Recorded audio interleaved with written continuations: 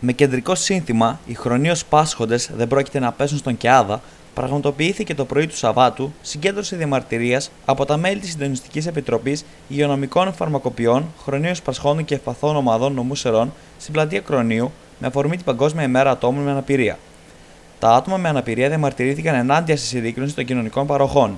Το μήνυμα της σημερινής ημέρας είναι ότι τα άτομα με αναπηρία και χρονοί πάσχοντες δεν θα πέσουν στον ΚΕΑΔΑ όπως προστάζει η Ευρωπαϊκή Ένωση, το Διεθνές Νομισματικό Ταμείο, ο ΣΑ, η Παγκόσμια Τράπεζα και άλλοι ομοδιψείς οργανισμοί. Δεν θα πέσουμε στον ΚΕΑΔΑ για την κερδοφορία κανένα επιχειρηματικού όμιλου. Η σημερινή ημέρα είναι η μέρα στην οποία διεκδικούμε δημόσια και δωρεάν υψηλού επίπεδου υγεία, πρόνοια, ασφάλιση, φάρμακα.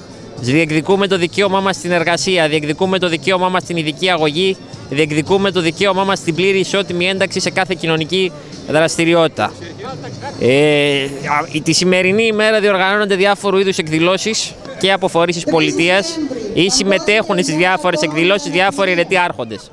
Αυτό το οποίο έχουμε να δηλώσουμε είναι ότι από τη μία δεν μπορεί οι αιρετοί άρχοντες να συμβάλλουν στην περιθωριοποίηση και τον κοινωνικό αποκλεισμό των ΑΜΕΑ και από την άλλη αυτές τις ημέρες να γίνονται μεγαλοστομίες, να λέγονται μεγάλα λόγια για το πόσο πολύ αγαπάνε τα άτομα με αναπηρία και τους χρόνους πάσχοντε. Αυτό που θα θέλαμε από τους αιρέου πολιτικούς άρχοντες είναι οι σεραίοι βουλευτές να μην ψηφίζουν μνημόνια και νόμους που διαλύουν την υγεία, την πρόνοια, την ασφάλιση, το φάρμακο, την ειδική αγωγή και ρημάζουν στην κυριολεξία τα ΑΜΕΑ και τους μπρόχνουν στο κοινωνικό περιθώριο.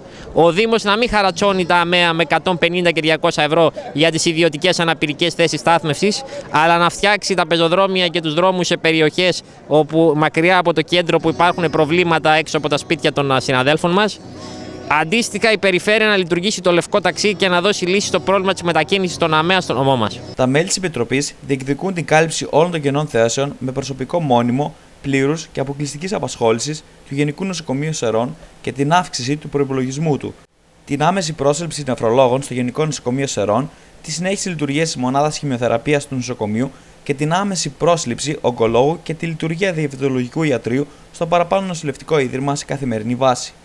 Περιγράφεται ότι θα κοπούνε 800, 900 εκατομμύρια ευρώ για την πρόνοια φέτος και άλλα τόσα του χρόνου. Όταν μόνο για τα προνοιακά επιδόματα χρειάζονται 800 εκατομμύρια ευρώ το χρόνο. Αυτό θα έχει σαν αποτέλεσμα τα προνοιακά επιδόματα είτε με τη σύνδεσή τους με το ελάχιστο εγγυημένο εισόδημα, είτε μέσω τεκμηρίων, είτε οριζόντια, είτε με διάφορους τρόπους θα περικοπούν. Τα προνοιακά προγράμματα που υπάρχουν και στηρίζουν ανθρώπους οι οποίοι πραγματικά τα έχουν ανάγκη θα περιορίσουν τη λειτουργία τους, θα σταματήσουν. Και προνοιακά ιδρύματα θα κλείσουν, θα ιδιωτικοποιηθούν. Οπότε πραγματικά είναι πολύ θετικό ότι λόγω του ντόρου που έχουμε προκαλέσει σε πανελλαδικό επίπεδο η... το θέμα αυτό για φέτος έχει καθυστερήσει. Ωστόσο, από ό,τι φαίνεται, θα το φέρουν μετά τις γιορτές και γι' αυτό καλούμε τα άτομα με κινητικά προβλήματα, γενικά τους χρονίους πάσχοντες, σε συναγερμό για να σταματήσουμε αυτό το οποίο θα έρθει.